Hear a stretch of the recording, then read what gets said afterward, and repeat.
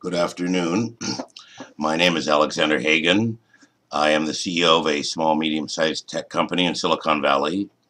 I have been a financial journalist, a financial analyst, and a research and development project manager for a large telecommunications company uh, in uh, telecommunications.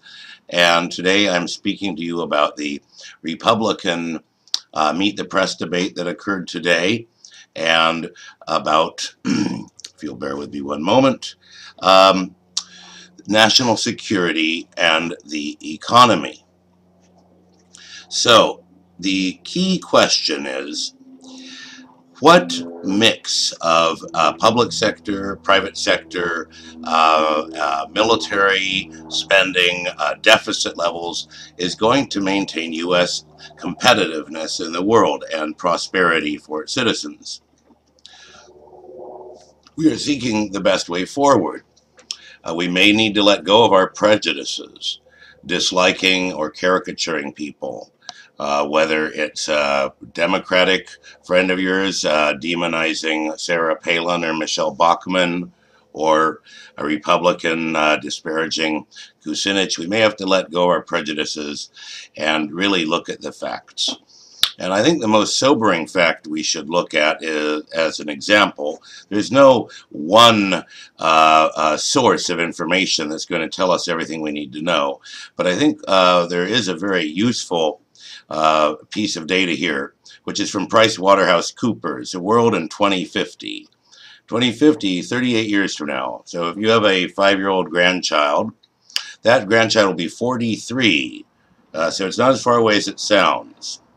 If you have a child that's 20, that child will be 58. Uh, so uh, there are two basic sets of economies. They're looking at the G7, which are our current major economies, which are US, Japan, Germany, UK, France, Italy, and Canada. Uh, plus they're looking at Spain, Australia, and South Korea. And the seven largest emerging economies, which they call the E7, China, India, Brazil, Russia, Indonesia, Mexico, and Turkey. Um, now, this is uh, what we really want to get at, um, is this table right here. So this table shows that in 2050, the U.S. will have 2.4 times its current um, per capita uh, GDP, uh, I'm sorry, uh, gross domestic product. We will have grown by 2.4 times. Um, and our uh, GDP per capita at at uh, parity purchasing power, meaning that you have the same purchasing power from this country uh, uh, versus another, uh, our score is 1.8, which interestingly is vastly below these uh, emerging economies, India, Indonesia, China, Turkey, Brazil, Mexico, Russia, even South Korea, but that of course is per capita. Um, but what is bizarre is it appears that uh, South Korea might actually have a larger economy than the United States. So this is all very complicated. But what it shows is that our, if we keep going the way we're going, there's no way, let me move this um, if you don't mind, there's no way that we're going to be able to maintain being the military superpower of the world. Let's take a look here. Um, so uh, I called this out down in this section here, um, and I, uh, I've played around with sorting various factors. But how on earth uh, will the U.S. be able to maintain 47% of all the world's military purchasing, which is what we're doing right now, um, if we represent the uh, 1, 2, 3, 4, 5, 6, 7, 8, 9, 10, for the 11th economy. Now, the other question is, are our current military policies uh, making these countries benevolently inclined towards us? India, Indonesia, China, Turkey, Brazil, Mexico, Russia, and so forth. Because basically, uh, the the uh, foreign policy hawks um, must have some idea that a mix of military power and economic power put together is better than drawing down our military spending and rebuilding our economy. That is a question.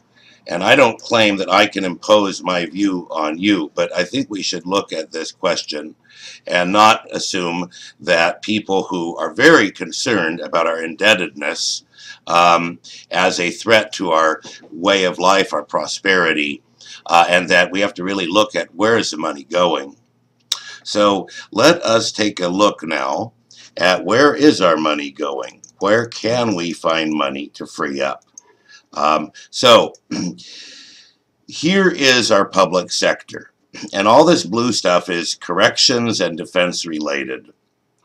Um, it amounts to uh, about, oh, let's see, uh, 20, uh, all public sector spending uh, other than healthcare, education, and defense and corrections related and interest on debt, largely from the Iraq and Afghanistan wars, um, uh, is, um, let's see here, we're looking at um, defense related and correctional related debt is at about uh, uh, uh, and debt related to is, is 38% of our entire public sector and this includes municipal.